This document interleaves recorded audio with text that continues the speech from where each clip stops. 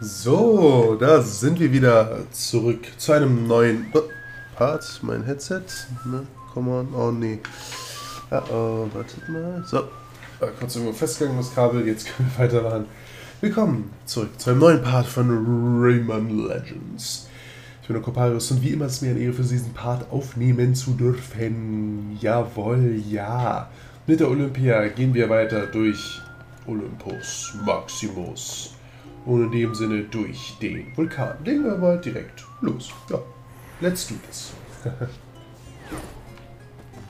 so, holen uns mal Herzchen und reden mal über das Thema, was wir im letzten Part schon ja, angeschnitten haben. Und zwar das Ganze mit, äh, äh das muss ich direkt mal umbringen. Und zwar das Ganze natürlich hier mit, ähm, ja, Kimmich und äh,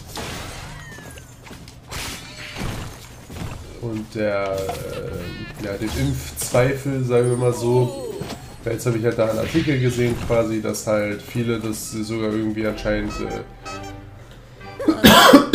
erfreut hat, so, weil die jetzt meinen, so, ja, jetzt können wir es theoretisch nutzen, um Kimmys Zweifel im offiziellen Interview irgendwie äh, zur Seite zu schieben oder ihn aufzuklären über den Impfstoff und halt, ähm, ja, jetzt haben wir alles. Boxhandschuhe und Murphy und den Typen, der uns davon fliegt. Mhm. Können ihm seine Zweifel halt äh, nehmen und im besten Fall dadurch dann auch die ganzen anderen Leute, die einen Zweifel haben, äh, die quasi ja, davon auch dann mit befreien, indem wir ihn von diesen Zweifeln befreien. Ja. Ähm, Wie gesagt, ich finde das eh generell kritisch, weil ich meine, wie gesagt, ist ja offensichtlich, dass ein gewisser Impfstoff mehr als genug getestet wird und ich, ähm, und da ja Menschen dahinter stehen, die sich natürlich auch nicht wollen, dass halt irgendwie im Nachhinein uns irgendwelche Langzeitfolgen dadurch treffen. Ähm, wo ich mir denke, so ja, weißt du, glauben die Menschen halt wirklich, dass etwas freigegeben wird, was komplett irgendwie klar, man weiß es jetzt, die genauen Langzeitfolgen nicht, aber ich bin mir sicher, wenn da irgendwie eine, ein gewisses Potenzial erkannt worden wäre, äh, dass halt langzeittechnisch eine Gefahr wäre oder bestünde, dann hätte man sicherlich das nicht irgendwie so massentauglich gemacht und so. Natürlich sagen die anderen jetzt, ja, natürlich machen die das massentauglich, die wollen uns ja alle mit dem Bischof umbringen, bla bla bla. Ähm, ja, was soll ich dagegen sagen?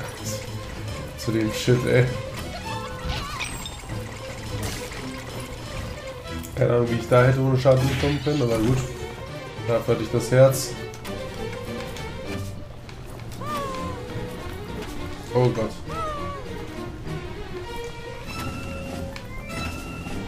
Okay. Wie ich da nicht getroffen wurde, egal.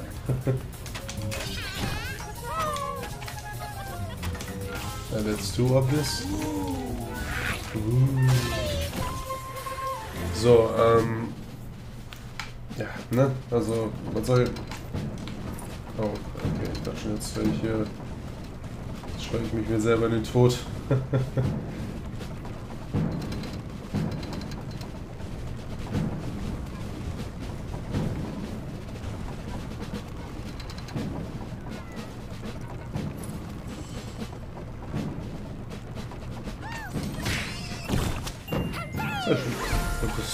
war sehr easy. Ich hatte irgendwie ein bisschen mehr erwartet, wenn ich ehrlich bin. Aber gut. Wir sind ja nur in der letzten Welt. so. Naja, ähm, was ich aber auch irgendwie ironisch finde, ist, dass halt einfach nur die Sache ist, dass halt schön ist, dass so viele Leute sich über die Langzeitfolgen der Impfung äh, Sorgen machen. Was natürlich theoretisch verständlich ist, äh, auf gewisse Art und Weise. Ähm, aber ja dann ja komplett ignorieren. So, wir wissen ja auch noch nicht, was die Langzeitfolgen des Coronavirus sind. So, darüber irgendjemand von den Impfgegnern mal nachgedacht. So, dass man ja, natürlich ist eine Impfung theoretisch gefährlich, aber die Krankheit ist doch auch gefährlich. Äh, und als ob, also das kann ich jetzt, wenn ich gerade selber drüber nachdenke, echt nicht nachvollziehen. Wie kann dann bitte jemand sagen, dass eine Impfung, wo wir nur irgendwie tote Zellen oder sonst was davon haben, gefährlicher ist als das, als das Virus selber. oder unbedenkt, also das Virus selber zu bekommen anscheinend unbedenklich ist oder die große Gefahr zu haben, das Virus zu bekommen. Das kann ich ja, ja mal gar nicht nachvollziehen. Warum man denn so bitte denken möge. Auch, also, komme ich gerade nicht drauf klar. Aber auch von dem Spektrum her, dass halt, wie gesagt, man auch die Langzeitfolgen einer Corona-Erkrankung nicht weiß. Wie meine, meine Familie, ne, meine Schwester, meine Mutter, mein Vater haben alle sich das Virus zugezogen. Und da weiß, wissen wir ja auch nicht, äh, wie das dann in Zukunft mit denen aussieht. Ähm, ob das auch mehr Komplikationen für die in der Zukunft haben wird, von denen wir noch nichts wissen. Weil bei meiner Mutter war es ja auch so, sie meinte ja so, dass ihr Geschmackssinn auch monatelang nachdem, nachdem sie das Virus schon vorbei war, auch noch beeinträchtigt war. Es kann sein, dass diese Zellen aufgrund, was weiß ich, halt dauerhaft beschädigt bleiben. Ähm, wie kann man denn sagen, dass die, also, das ist, das, dass man sich lieber die Chance nehmen will, ein gefährliches Virus zu bekommen, anstatt sich nur irgendwie ein Teil dieses gefährlichen Virus einzunehmen. So. Was? Naja. Ähm, was ja alles noch ironischer ist, ist ja auch äh, der, der Trainer halt der Mannschaft von Bayern, Julian Nagelsmann, sich ja auch dann in Corona eingefangen hat, wo es dann noch ironischer ist, dass dann der Spieler Bayerns sich dann denkt so, ja, braucht trotzdem keine Impfung, lol. Oder ist mir trotzdem zu risky. Lieber will ich mir das Virus einfangen. Ähm, oder lieber will ich die riesige Chance haben, mir das Virus einzufangen. So, okay. Äh, interesting opinion, Bro. Ähm, wie gesagt, bei allen Ehren, so ist natürlich. Äh, es ist wie gesagt auf gewisse Weise verständlich. Und ich bin auch ein Mensch, der immer sagt, äh, man sollte nicht alles immer für bare Münze nehmen und auch einen kritischen, kritischen Gedanken immer haben. Ähm, aber das, was die Menschen machen, geht halt immer so ein Stück zu weit. Und das Problem ist halt jetzt auch nicht, dass der Herr Kimmich, ne, der scheint ja ein vernünftiger Kerl zu sein, so der, der nennt die richtigen Gründe, warum er irgendwie Zweifel hat oder Digga, was. So, da hat der Wind aufgehört.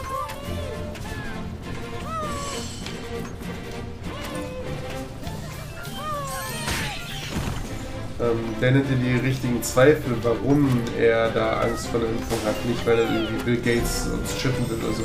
Aber das Problem ist, dass dann genau diese Idioten, obwohl halt er nicht diese Argumente benutzt, ihn natürlich jetzt als quasi Koryphäe wieder nutzen und so, ne?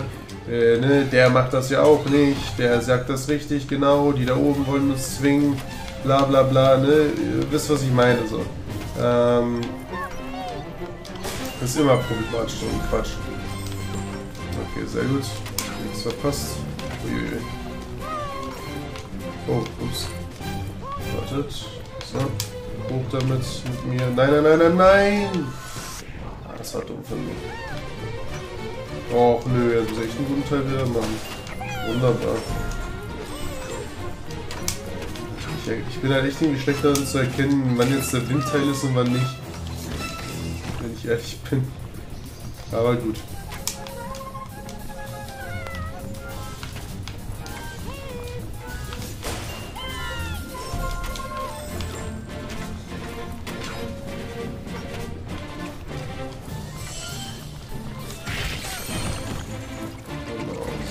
Ah, die letzte ist ja sie. Ah, okay, also haben wir alle. Super. Hey, guck mal. Hehe. I'm free here.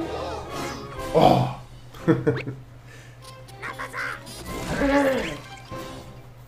Sehr schön.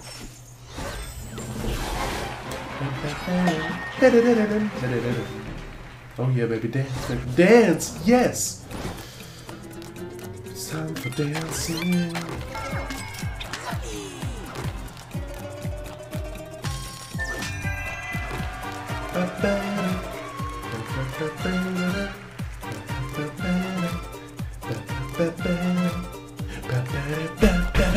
Sehr schön.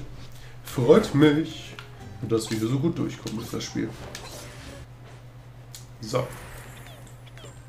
Lustigerweise habe ich gesehen, dass Rayman Legends wirklich von der How Long to Beat Zeit weniger Stunden in der Hauptstory als Rayman Origins, äh, aber auch nur eine Stunde. Also Origins soll äh, elf Stunden haben und äh, Legends zehn Stunden. Dafür Legends hat sehr viel mehr Bonus-Content.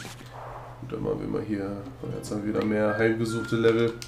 Aber die machen wir dann mal mit der Schwester dann, weil mit Olympia haben wir jetzt, obwohl ich sie, von dem Seite finde ich sie echt wirklich, bis jetzt am coolsten von den ganzen äh, Prinzessinnen. Würde ich jetzt aber doch jetzt sie mal gehen lassen, weil mit ihr wir jetzt schon wirklich sehr viel Heimgesuchtes getan.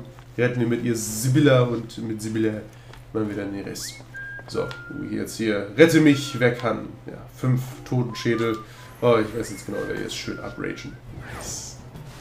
Genau, deswegen, das hat dieses Problem, was ich meinte mit äh, der Person des öffentlichen Raums, ist halt ein äh, Herr Kimmich sich natürlich, wie gesagt, äh, nicht dessen bewusst ist, dass er dann für viele so, ähm, ja, äh, diese Entscheidung trifft, äh, die dann sagen, okay, ja, der Herr Kimi hat das jetzt gesagt, ich habe Angst, deswegen klingt ja gar nicht mal so falsch. Und dann genau irgendwelche Leute, von denen er, mit denen er sich ja nicht assoziieren will, äh, seine Aussagen für ihre eigenen äh, Machenschaften nutzen. Äh, was natürlich auch nicht wichtig ist. Ich denke mal hier. Weil sicherlich, als er, das, als er das Interview gemacht hat, da und seine Bedenken genannt hat, war sicherlich sein Ziel nicht, äh, irgendwelche Querdenkern äh, Futter zu geben, sondern halt einfach nur zu sagen, ne, dass halt, ne, wie gesagt, er einfach nur Bedenken hat. Und er halt, sagen wir mal, oh scheiße. Er natürlich, oh wow, ich war direkt vorm Ende, das gibt's nicht. Warum schaffe ich es immer? Ich schaffe es halt wirklich perfekt immer. Ich schaffe es halt perfekt, wirklich. Immer so knapp zu verrecken. So knapp vom Ende, so knapp davor es zu schaffen. Und irgendwie kriege ich es immerhin, ist richtig hart zu verscheißen. Warum? Ich glaube, ich mache ich gerade die ganze Zeit falsch. Hä? Das ist, warum, warum reagiert das Spiel nicht mehr? Ich weiß nicht, was ich falsch mache. Ich weiß echt nicht, was ich gerade die ganze Zeit falsch gemacht habe. Hat mich ehrlich gesagt richtig verwirrt. Naja.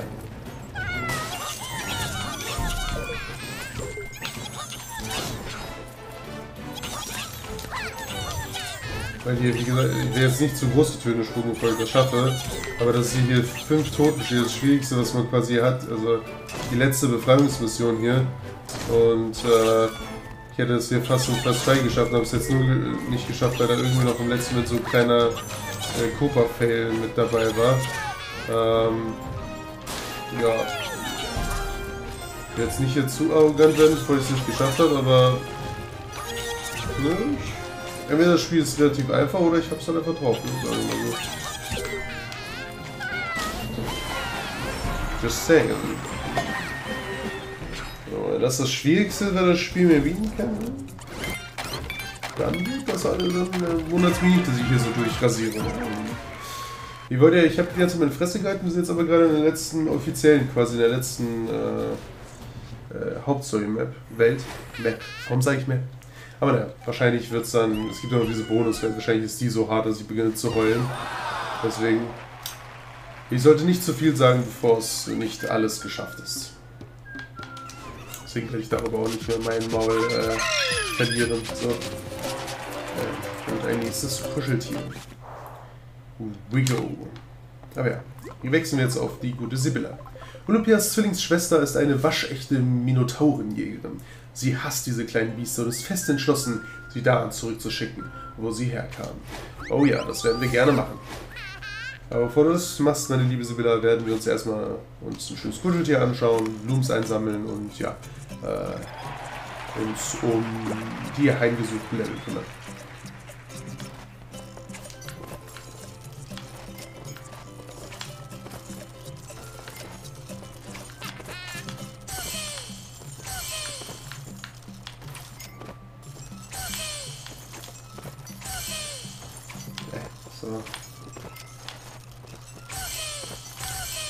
Okay, äh, okay. Gut, dann auf zur Hauptgalerie. Nein, ach, ich hätte einfach das Heimgesuch-Level aufrufen können. So. Äh, Ursprung, zurück zu den, ja, zurück zu den Ursprüngen. Wöchentliche extreme Herausforderungen. Back to Origins, Back to Origins, okay. Gut, dann machen wir mal unser nächstes heimgesuchtes Level. Faules Frühstück heimgesucht. Faules Frühstück in der mexikanischen Welt. Jawohl. Ist es jetzt Rassismus gegen Mexikaner, weil die Früchte bei denen faul sind? Go!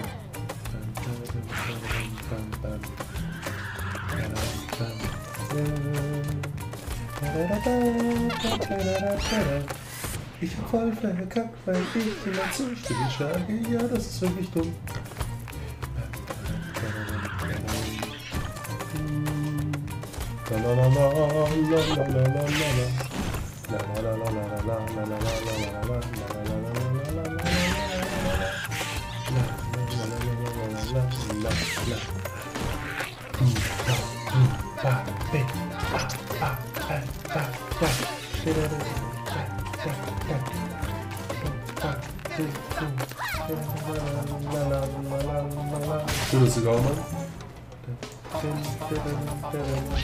Du bist doch behindert und Oh, ich war kurz vor des Levels, wunderbar.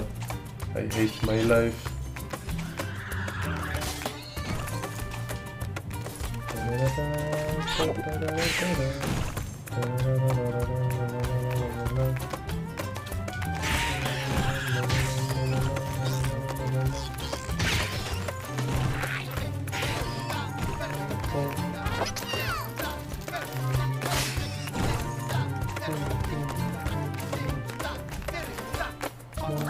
Okay, da ist er weg.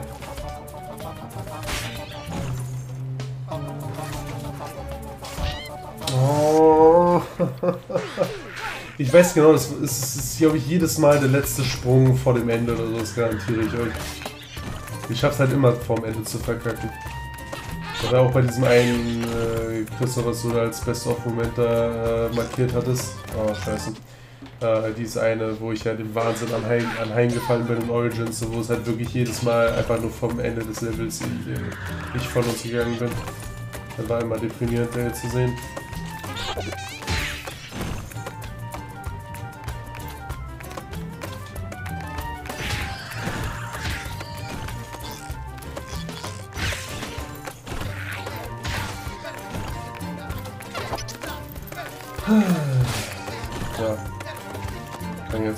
Zu dem Thema loswerden.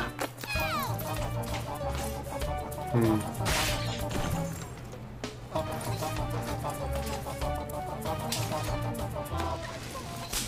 Du mieses Stade, wenn ich das noch verkackt hätte. Ja, aber natürlich war klar, ich bin jedes Mal kurz am Ende verreckt. Offensichtlicherweise. Ja, ja, ja, und dann hängt sie da noch in der Kante und deswegen hätte ich fast noch den Scheiß noch versaut, ey. Wunderbar. Hey, auch wieder geflennt. So. Haben wir noch so zum Thema ein? Verantwortung in der Gesellschaft. Achtet nicht nur auf sich selber. Ja. Ich glaube, da alles schön durchgekaut so langsam. Ja. Also wie gesagt, ich habe mich zweimal schon geimpft. Ist halt auch einfacher, weil man, wie gesagt, aber besser geschützt ist gegen das Ding. Einfach auch für sich selber ist es eigentlich ziemlich gut. Sagen wir mal so. Ach, durch den Vulkan ist er direkt heimgesucht. Äh, so. Help me! Go! Ich wollte gerade sagen, man muss so um so ein Loch, oh Gott, wer da ran will. Ich bin nicht mehr daran gewohnt, dass wir da so, sch so schnell sind. Da muss man ja wirklich ein paar Sekunden vorher schon reagieren, als man es halt gewohnt ist. Wenn man sehr viel schneller ist.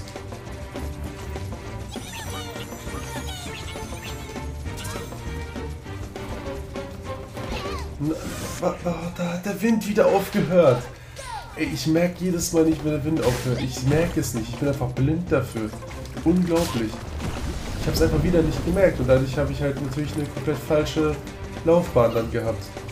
Ah, oh Mann. Ja, weil ich dann an der Kante hängen geblieben bin, habe ich dann natürlich, ja, bin ich natürlich dann zu langsam. Aber mache ich dann wieder den Sprung. Naja.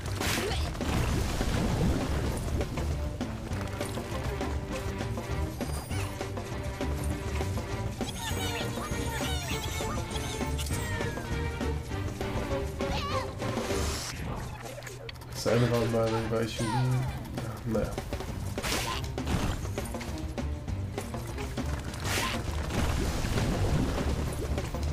Level ist aber definitiv knackiger. Da merkt man ja allein schon hier, wie viel äh, Fieder hier rumfliegt durch die Weltgeschichte.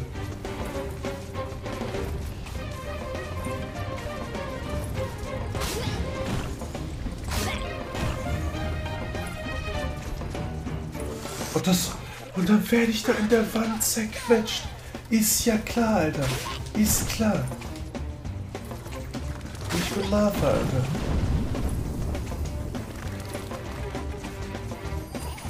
Die Dreistigkeit jenen Geschehens ist mir immer noch fremd.